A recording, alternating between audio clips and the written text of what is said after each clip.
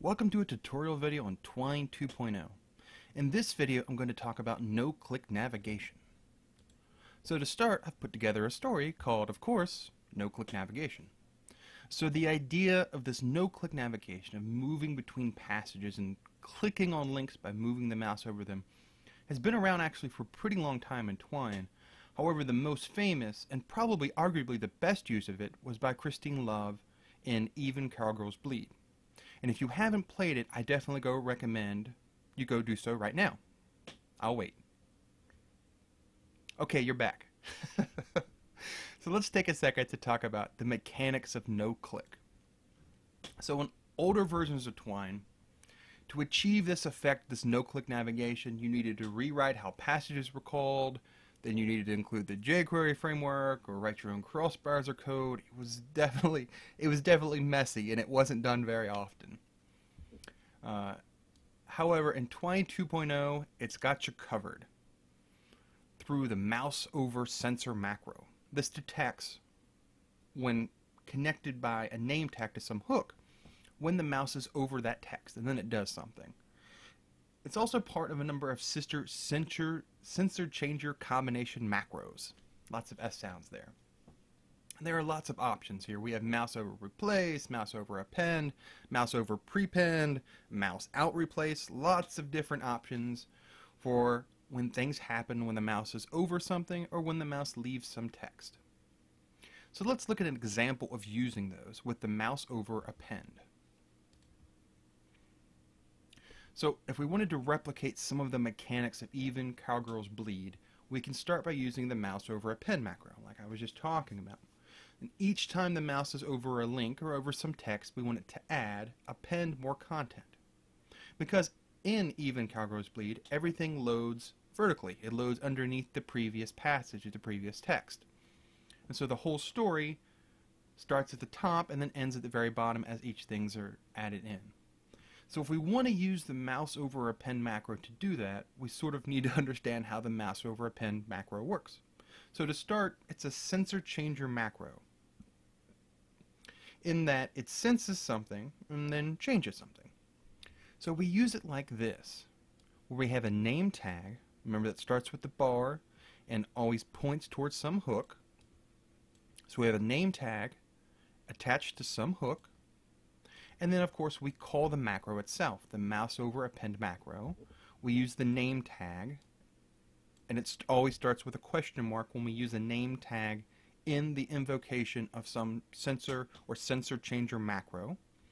And then we have some content we want to be appended. So we have a name tag, we have a hook, we're calling the macro with the name of the name tag, and then something happens. Some content is appended in this case, or something else happens when you use the other macros. So to demonstrate that, we can do it like the following. I've set up some blue text here, and when I mouse over it, we see more contents added. So what if we wanted to automate this process a little bit?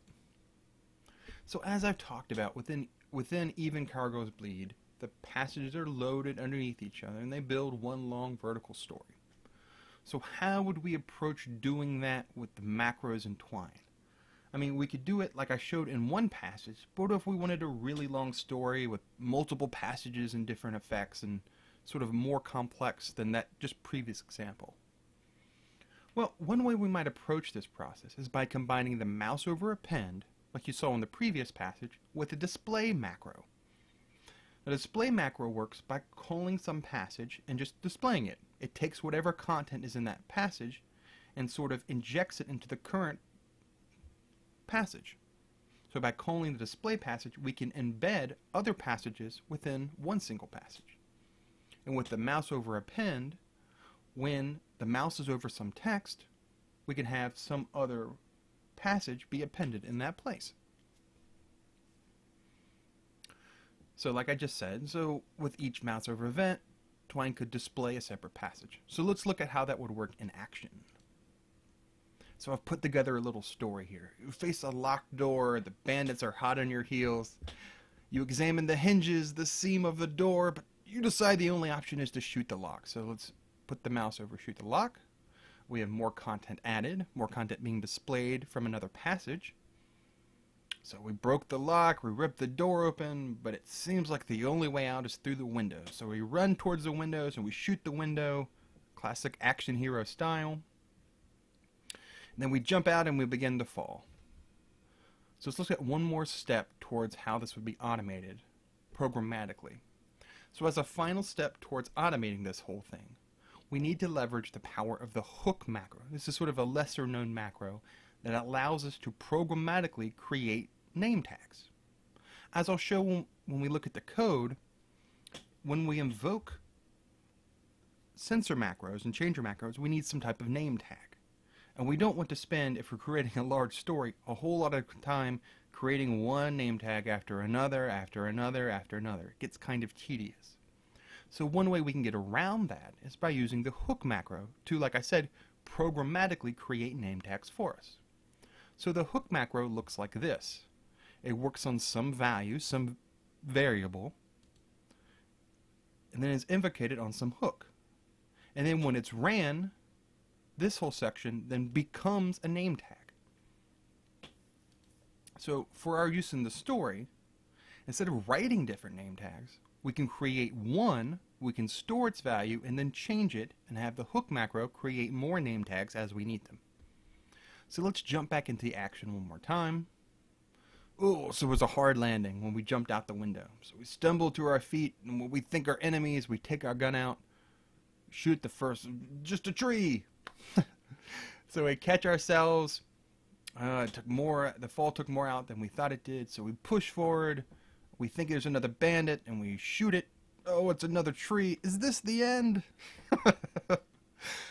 Not much of a narrative there, I will admit. Uh, so let's take a second to look at the code before I go back to uh, the, the editor and, and show you it uh, in practice here. So as a last start, as a last part to start, uh, we want to define two different variables. We need a text part and we need a number part. And I'm going to go over this in more detail once I go back and look at the code within the passages. But I want to take a second to just show how this would work. So we have a sort of a start of a name tag. Then we have some number we're going to append to the name tag each time. Now the reason for this is that in JavaScript, upon which Twine works and upon which Twine script is run, cannot start with a number.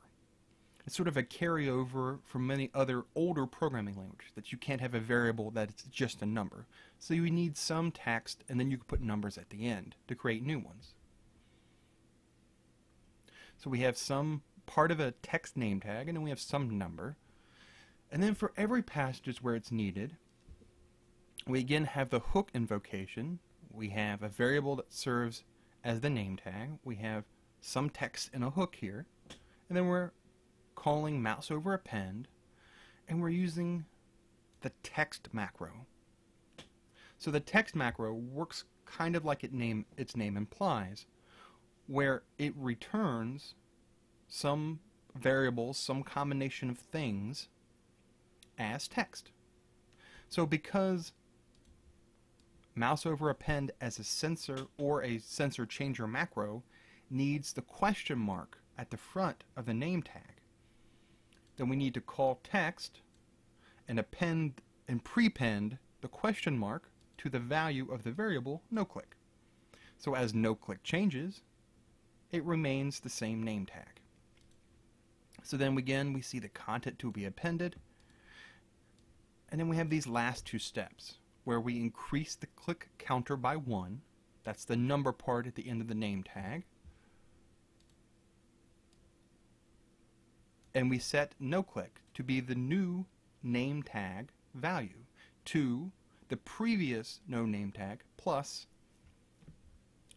the text value of the variable click counter. So each time this section of code is being run, click counter is being increased by 1, so it goes from 0 to 1 to 2, etc. And then it's being added to no click. So no click gets a new value each time. So each time this section of code is being run, it's dynamically creating a new name tag and then associating that new name tag with mouse over append to do something. So instead of us writing, like I said, new name tags for each new thing, we can have Twine just create them for us as many as we need. And we can just use this code, little code chunk here again and again and again. Okay, so I've sort of walked you to the very end. Let's go all the way back to the beginning and look at the code within the editor. So to start, it's pretty straightforward here. I'm using the link macro to create a link using the string even cowgirls bleed and I'm using the go to URL macro. It's a holdover from older versions of Twine that isn't used very much. It sort of isn't very well known. Uh, but if you want to create something that goes to some URL, some outside source outside your story, you can use this. And so if you haven't already seen Even Cowgirls Bleed, this is the URL you can go to to go look at it. So then we move over to the mechanics of no-click.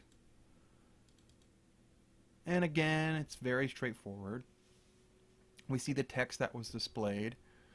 We see the unordered list of the various names. And then we move over to the mouse over append. And then again, we see the code. Now, if you haven't seen this before, you can use two marks here to escape some code so it isn't run by Twine. If you want to show an example as I have here, you can use them to put code in, two on the front two on the back, and then Twine doesn't run it, it just shows that code. And of course I put an emphasis by using an asterisk at the end of it. And then here was the code that was actually run. So we have the name tag no click associated with this whole hook. Then within that hook, we're using the color macro, use the color blue to change the content of this hook, mouse over this to add some content. And then down here, when the mouse is over this, the mouse over append associated with the name tag no click and the name tab no click is associated with this hook we append the content that's within the brackets. Look more content. And then a link to the passage. What about automating this process, though?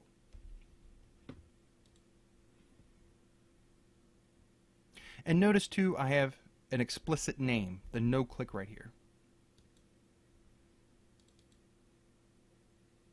Then again, we have a very straightforward passage that discussed what I was talking about.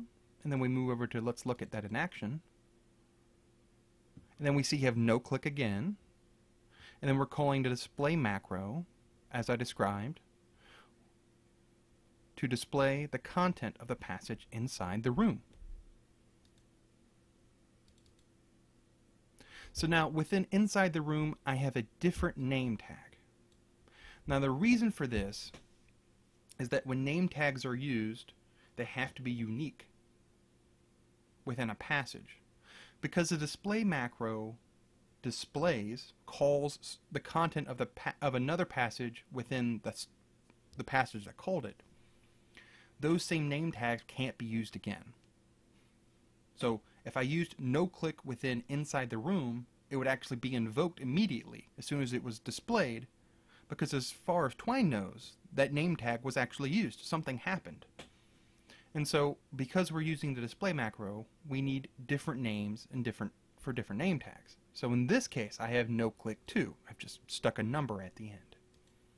And that's why, as I talked about before, we need some type of automation so we don't have to keep creating new name tags all the time to replicate the mechanics of even cowgirls bleed.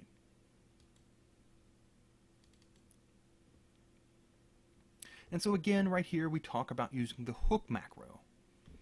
We see hook macro is invoked using some variable, and then the macro is attached to some hook. And then in action, it creates in runtime a name tag attached to that hook. So we are once more into action.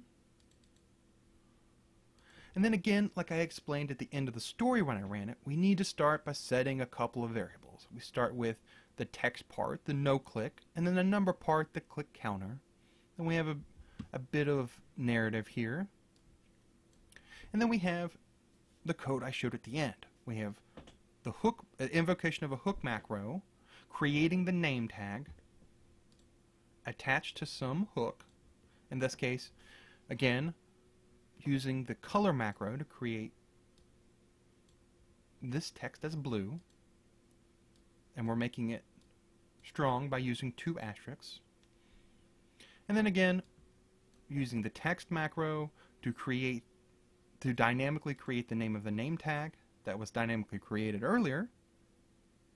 Then we have some content, and then we're adjusting the value of our dynamically created name tag, and then we're calling into the forest.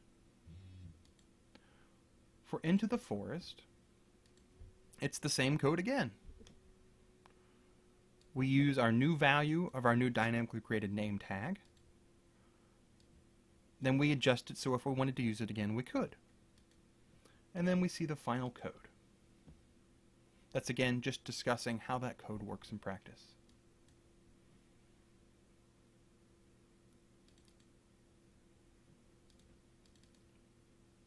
Now, for the most part, you probably won't want to go through all the trouble of I did to create this big dynamically created name tag process. Usually, you probably will want to do just this.